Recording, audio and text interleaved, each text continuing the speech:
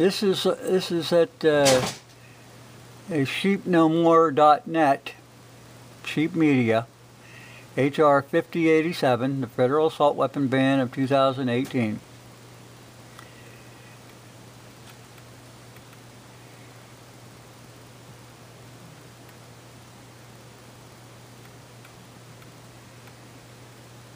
These are the sweethearts that uh, let you know that uh, it, it's coming. So it begins. They had 150 other Democrats sign on to this bill.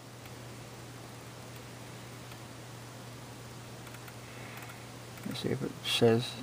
But anyway, like I said, it's 150 people, Democrats, signed on to the bill. They introduced it February 26, 2018. Now, you know, this gun debate settled a long, long time ago. And to me, these people are the most un-American, unpatriotic people in the whole world. They don't care about your rights. Now they've got, they had all these laws. Every time you turn around, oh, we need more gun laws, we need more gun laws. Well, they passed these laws, and what do they do? Do they curb gun violence? No. Do they, do they do anything? Yes. It gives them more control over you, your everyday life. It never solves anything, nor does it keep people from harm. It's control. That's what it's about. Well, these people aren't smart enough to control. They put words into on a piece of paper and say, hey, you got to follow this. Well, you can call it civil di civil disobedience. You don't have to obey bad laws. And that's what these are. It's control over you. We have a God-given rights, not negotiable. We have a constitution, and there's no compromising. We have a Bill of Rights, and there's no compromising.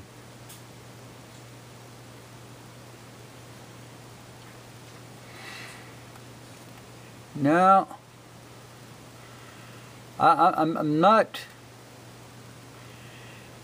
not sure how I really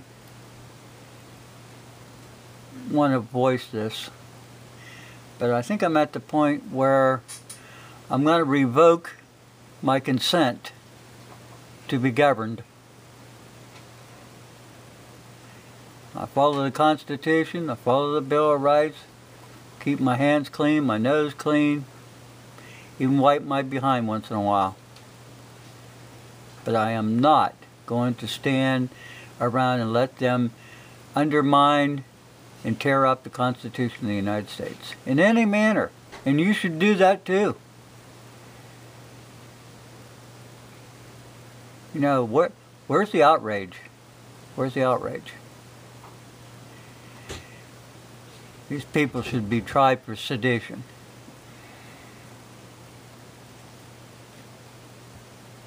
No, the the law, common sense laws, you know, there's right and wrong. Always has been. But to keep picking on this, and since they got a toe, toehold back in 1968, they keep on and on and on and on. It ends. It ends for me. I'm done with this. I until they get back to doing the constitutional ways and they bring back justice where where these people in, in uh, uh, these elites up here in uh, White House and the Congress and the Senate and other places don't get away with murder. It ends. It's awful hard to be proud of your government when they can when they can do all this stuff and get away with it. That's not justice. Whereas the poor guy out on the street, if he jaywalks, he's in jail. If he driving down the road, he gets in jail. Doesn't matter. The little guy suffers and these guys here they walk away scot-free. If you look at Waco, look at uh, Ruby Ridge, you look out there in uh, Nevada, the land grab, people getting killed, nobody nobody pays for it. Except the person standing up to the government. They've overreached.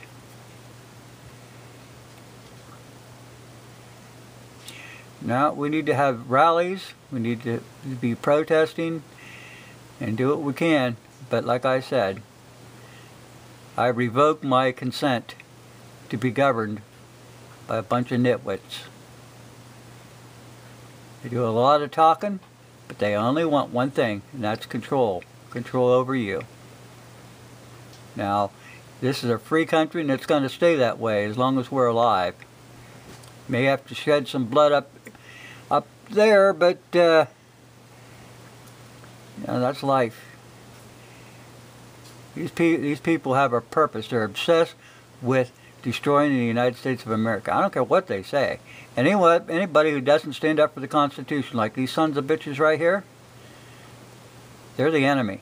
They are the enemy of the people. They are the enemy of our nation. If they would get away from gun control, they could get a hell of a lot done. But no, they focus all their energy on something that uh, doesn't make sense. It was settled 227 years ago, people. 1791.